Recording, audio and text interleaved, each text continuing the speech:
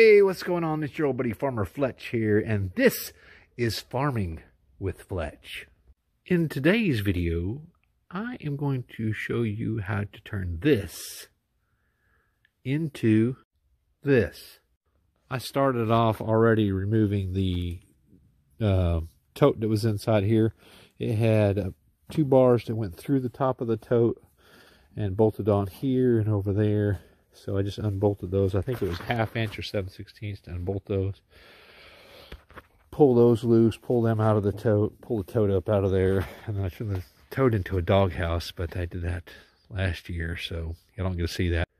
Today I'm going to make this into the hay feeder for the goats. So what I do is I take a straight edge and I lay it along.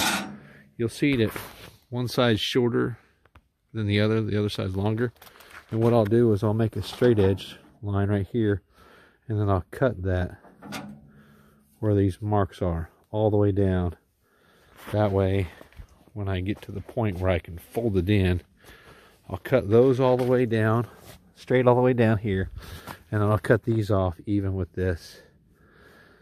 And then I'll take and I'll cut right along here cut that and then I'll cut these off right down here to remove this piece of bar and I'm removing this section right here.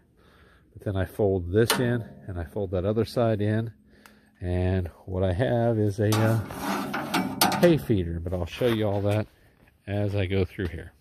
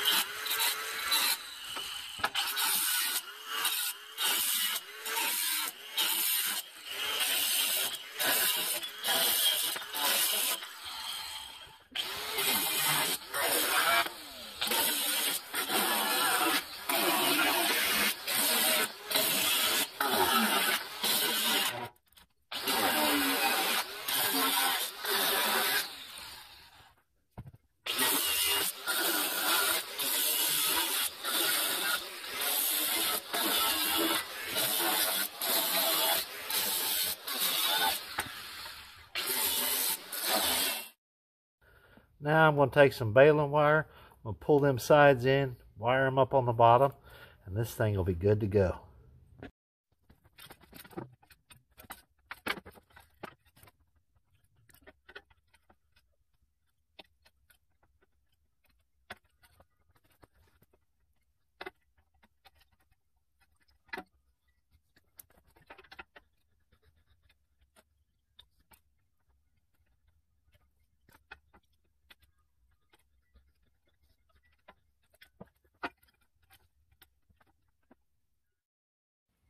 So like I said, I cut all those side pieces, cut all the bottom pieces. I folded it all in.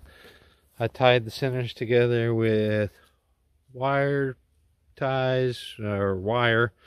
Um, it was baling wire off the hay that I'm going to throw in here.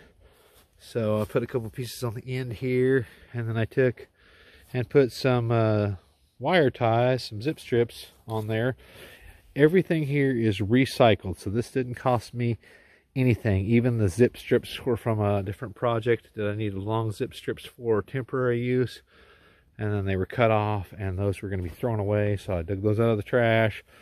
The container came from uh, a company that was giving those away uh, the hay was given to me by a neighbor. So yeah, the whole thing didn't cost me anything except for $2.49 plus tax, the cost of that uh, one blade that I cut.